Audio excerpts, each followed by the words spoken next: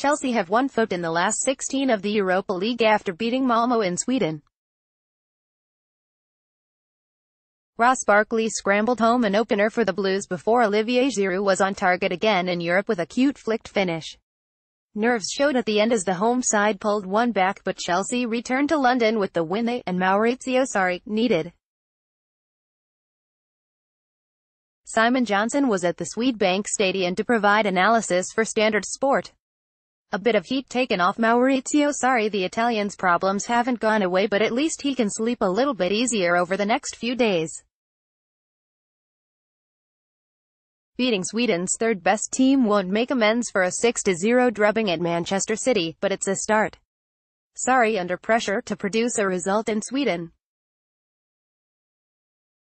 Chelsea FC via Getty Images, Sarri's position would have been in danger of becoming untenable had his side lost to a Malmo outfit playing their first competitive match for two months. It wasn't pretty, particularly in the opening 40 minutes as the energetic hosts pressed Chelsea into mistake after mistake. But once Ross Barkley put the visitors in front, some of the tension disappeared from their every touch. After the break, they played with a lot more composure and Olivier Giroud's effort to double the lead was the kind of Sarri ball they showed earlier in the season. However, some of the careless defending that has been synonymous in recent weeks returned to gift the hosts a late goal and breathe some life back into the tie. The second leg should still be a formality for Chelsea and they will be looking to focus on the much tougher contests either side of it. The FA Cup fifth round tie against Manchester United in the EFL Cup final versus Manchester City. That strike is the boost Barkley needed after a promising autumn. It has not been the best few months for Barkley at Stamford Bridge. There was a period where it looked the midfielder was fulfilling his potential having had a limited amount of appearances under Antonio Conte last term. The display in a 4-0 rout at Burnley was particularly impressive and his confidence was also seen on the international stage as he helped England beat Spain. AFP, Getty Images but for some reason, the former Everton star couldn't maintain the momentum and suddenly lost all self-belief.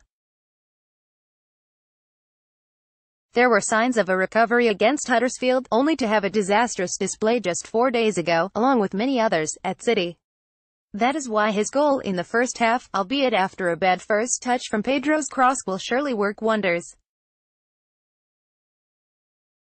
It was a crucial finish for the club too, ending their four-match drought in away games at the start of 2019. Chelsea fans failed to heed Sarri's warning that Chelsea coach had made it clear to the travelling support ahead of the contest that they had to behave but his plea fell on deaf ears. On the club's last trip in the Europa League before Christmas, anti-Semitic chants were heard coming out of the away end in Budapest. UEFA have opened disciplinary proceedings on the club, who will find out their punishment on February 28, could see Stamford Bridge partially closed in their next European game. The 1,000-strong group that had travelled from London were always going to be under scrutiny said it defied belief when they had an unseemingly skirmish with Malmo fans early in the first half.